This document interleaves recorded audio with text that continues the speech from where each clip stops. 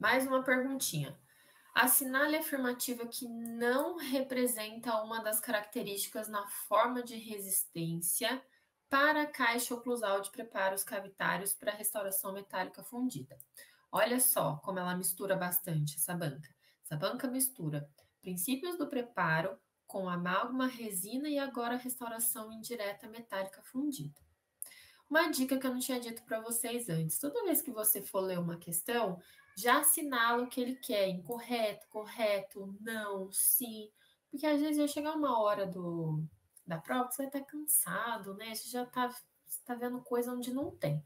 Então, rabisca a sua prova, você tem que entregar o gabarito, né? Você até tem que entregar a prova junto com algumas bancas, mas o que importa é o gabarito. O gabarito não risca, não rabisca. Mas prova rabisca, escreve, desenha, pinta para você não se perder, tá?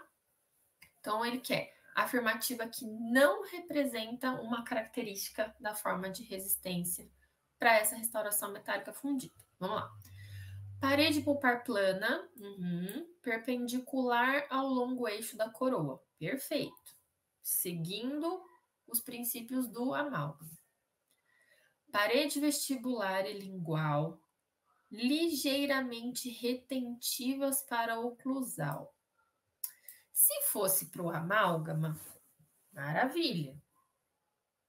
Só que restauração metálica fundida você faz fora da boca e encaixa na boca depois, não é? Se eu estou fazendo uma parede retentiva para oclusal, você acha que vai caber uma peça ali? Não vai.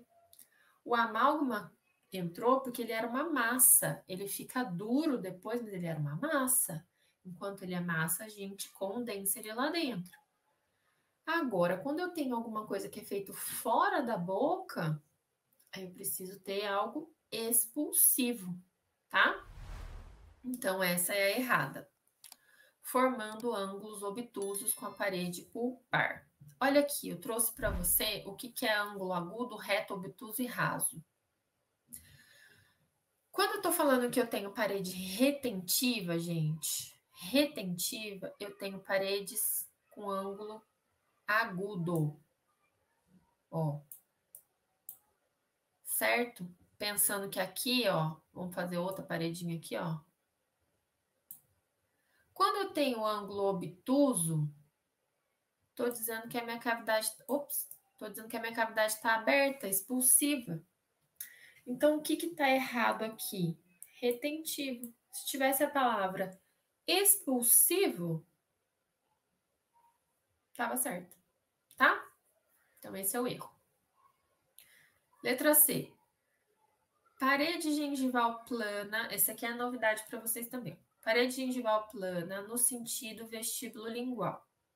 Enquanto no sentido mesodistal, inclinada para cima. Para cima é oclusal e biselada no sentido proximal, dupla inclinação. Sim, não está errado esse princípio aqui. É, ela é ligeiramente inclinada para o oclusal, tá? Mas ela continua sendo plana, regular e lisa.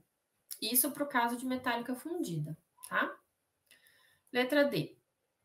A dimensão vestíbulo lingual do segmento oclusal. Então, eu tô vestíbulo lingual na oclusal.